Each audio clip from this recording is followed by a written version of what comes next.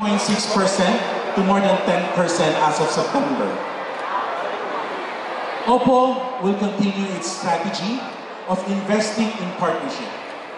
Partnership with industry and media friends that we have grown and we will continue to cherish this bond that we have with you.